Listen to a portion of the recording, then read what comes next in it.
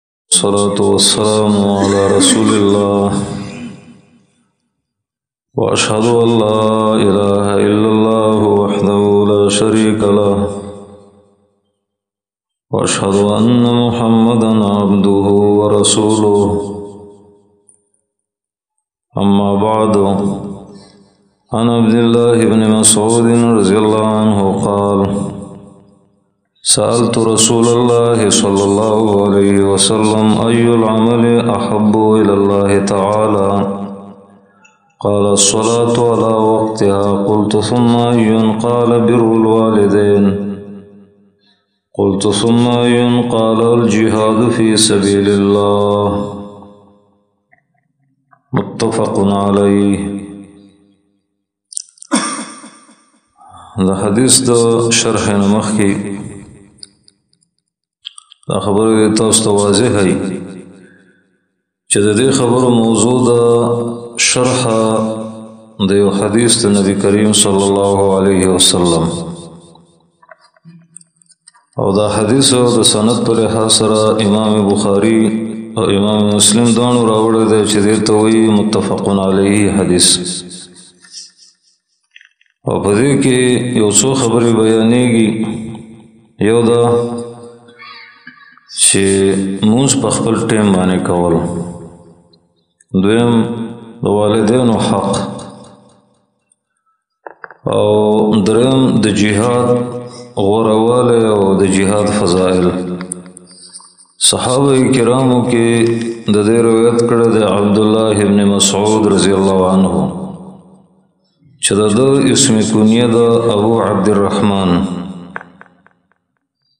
او دا من جمله د هغه کسانو نه دی چې اول اول اسلام یې راوړی دی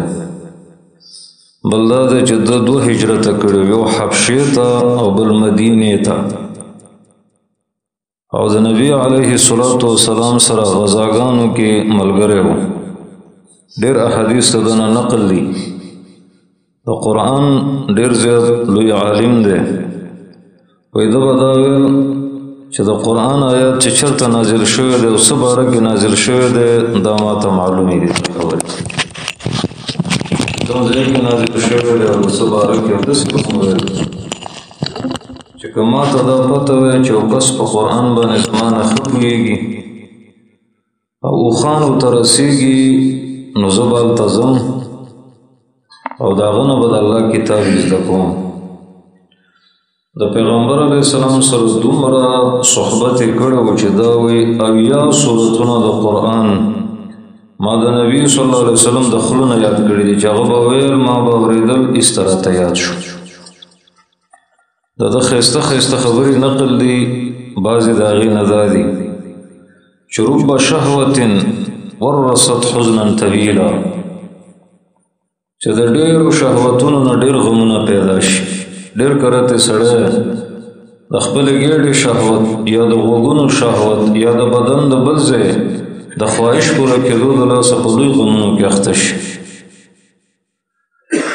او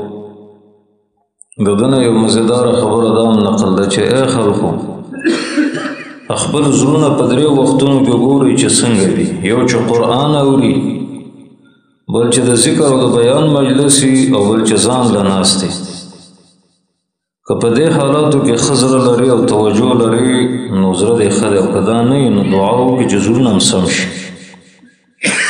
سنه هجری 22 دا وفات شوه دی په حدیث کې د څه خبره ذکر ده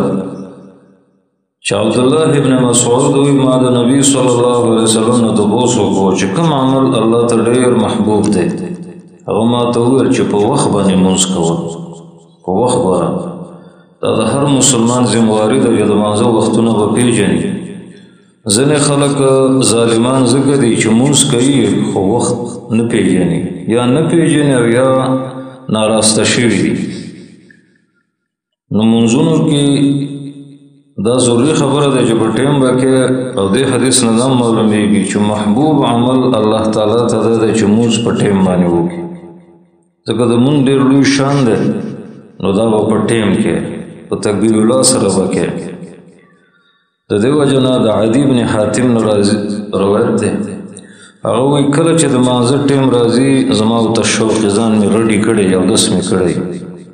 او چې کله جمع ودرېږي نو زما او دسې بالکل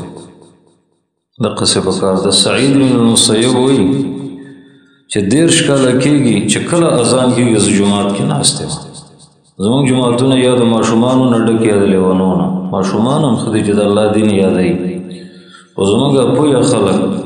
او زموږ سمجدار خلک چې د هغه جماعتونو ته نه راځي او لوی سمجداري دا ده لوی او خیرتیا دا ده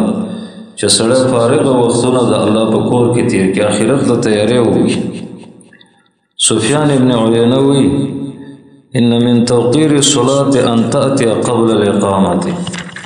چې د مانزه احترام دا دی چې اقامت نه شوي او مخکې مخکې جمعه تراش ابراهیم نخعی ویل دي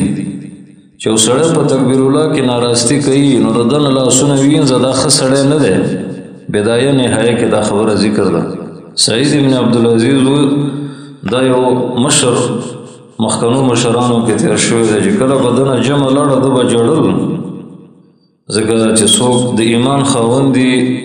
او د دین په ګټ او تاوان پوهیږي نو رښتیا دا د جړا وخت دی ابن عثیمین رحم الله وی وی عنیزه کې القسم کې یو جماعت دی او چې کله د سار جمع ودرېدله نو اول سب ډک شوی او اوس چې جمع ودرېږي نو یو څو کسان یو یو راځي او خپويږي او صحت ولا دی او ناراضي په دې حدیث کې دوه خبره دا ذکر شوې ده چې په ټیم باندې نماز کول نو رستو الله تعالی ته محبوب عمل احسان کول دی او خجون ترول دی د خپل والدینو سره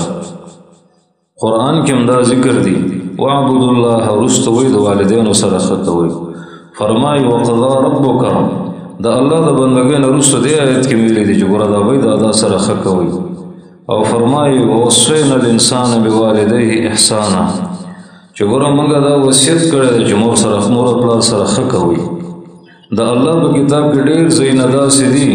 چې د الله بندګي بیانېږي نو ورپسې د مور او پلار حق بیانېږي او زموږ استاد محترم احسن الکلام کې د دې واته وجې ذکر کړی دي چې الله د خپل حق نه رسو خبر د والدینو حق بیانوي ځکه دا ډېر غټ محسنان دي او چې سړی ناشکر نه وي او ګناهونو لیونه کړی نه وي نو د ځمکې په مخلوق کې د مور او پلار د بچو سره ډیر احسان دی نبی کریم صلی الله علیه وسلم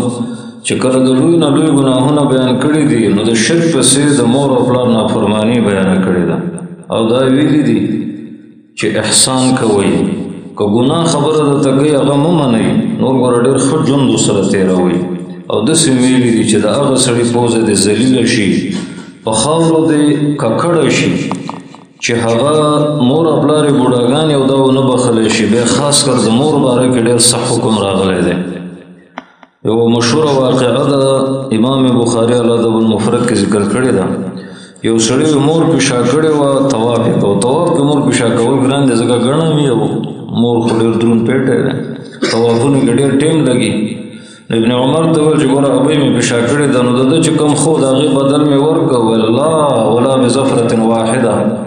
هغه یو سلګۍ چې تا سره تېره کړې د هغې بدل نشي پوره کولی باقي له ټولې سختۍ دې وجنا زمون مشران صحابه کرام تابعین هغه د خپل ابي دادا سره ډیر خو وخت تیر کړی د اخیره زمانہ د هر سوران جاړي شاګرد استاد نه پیژني بچی پلار نه پیژني د ملک خلک د بادشاه حق نه پیژني یو ګډوډي شروع ده تاسو وګورئ زمونږ اسلاف ابن المسیب وایي دا ابو هريره مور چې ژوندې و حج ته نه ته زما مور وړي دا دا بدل تزای شي چې کله مور یې مړ شو نو دا غي نرستو چې ده دا به لاړ او ویسې قرنی یمن کې د نبی رسول الله خواته نه راته زما وړي مور دا دا چاته پریدم پیغمبر علی السلام صفاتو به خسړې ده زما مړ شم دا راځي دا دا نه خېدي او دعا ته واخلي ویسې قرنی حسن بصری هغه دا ویلي دي چې کله بیګا ډوډۍ خوري د مور سره یو ځای خوري چې هغه خوشاله شي دا د حجونو نم ډیر ثواب لري محمد ابن المنکدر هغه د غي ورور ټول شپه مونږ کو او ما خپل مور چا پی کوله او هغه ورور ته ویل چې لالا لالا او کشر لالیو یو شی او ته ویل چې ستا په منځونو دا غوي خدمت نه ورکو ته خو منځونه کې خو ما خپل مور چا پی کړه مشران په چاپې ډېر خوشحالېږي به جیمې کې خوب هم راور شي چاپې کې علي الجراعي وایي د ده شپېته کال عمر ول زه د شپېتو کالو سپینګیری یم او چې کم کار کوم د مور سره مشوره کوم چې کم ځای لازم د مور نه اجازه اخلم چا به پلاني ځای ته ځم ټیک ده او سره موږ ډیر زیات کمزوري شو په غټو غټو کارونو کې د مور او پلار نه مشوره نه اخلو ځکه تاوانیان کیږم د دیو جنا د ډیر علماو باره کې دا راځي چې خسته خسته علماو خداغي خواله به ځکه نه تلو چې ول سفر وکړو مور او پلار بوډاګان دي دا رانه خپه کیږي د محمد ابن بشار په ترجمه کې راځي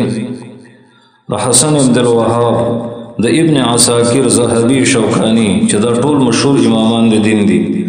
دی په خپل کلو کې سبقونه ویلي دي ورکه بار تلړ شمور قلارم خپکی دی وجنه کړه د انسان په علم کې برکت ځکه نه چې سبق وي غټ ازاري بچي د مور خپل رزق خیال نه ساتي ځکه علم د الله ورکړه دا د نیکانو ته د فاسقانو فاجرانو ته نور کولې کی الله دې موږ معاف کړي امام احمد رحمت الله علیه هغه هغه دا ویلو چې هغه دا ویلو چې خپل ځای کې سره کلی کې سبق یو مور او پلار سره خکې دا به ډیر زیات بهتر سبق یو عالم واقعا دا ما ته ډیر یو لک حدیثونه یادو خو سفر ته تل مور او پلار نه خپو چې بیرته راړم ټول نه نیر شو لګون یو سوره ته یادو نو دا سینه د پکار دی ابن جوزی یو واقعا لیکلی ده چې سړی پلار راخکوده یو ځای پورې نو چا بچی ته چې بس ته نور مې مرا کاږه ول ول ول دې ځای پورې ما خپل پلار هم راخکلو د دې دا معنی ده چې جزاء من جنس العملی چې د خپل ابي سره او د خپل دادا سره دې سګړي استاد بچی په دقه سو سره کوي الله دې موږ معاف کړي داسې نور واقعات هم شته دی چې چا څنګه د مور او د پلار سره ژوند ایستلی بچي مو سره دقسې کوي خو توبې وباسئ ځکه د توبې دروازه کلاو ده یو حدیث کې دا هم راځي که مور او پلار مړم وي نو دعاګانې وله غواړي استغفار غواړي د هغې وعدې پوره کوي رښتې وله پالئ د هغې د دوستانو سره ښه کوئ وروسته بیا حدیث کې د جهاد بیان د جهاد برکتی عمل دی نن سبا بعضې کسان داسې ظلمونه شروع کړو چې هغه مبارک عملی بدنام کړ الله دې د دې ظالمانو نه موږ هم بچ کړي الله دې زموږ ظلم نه مسلمانان بچ کړي واخر دعوانا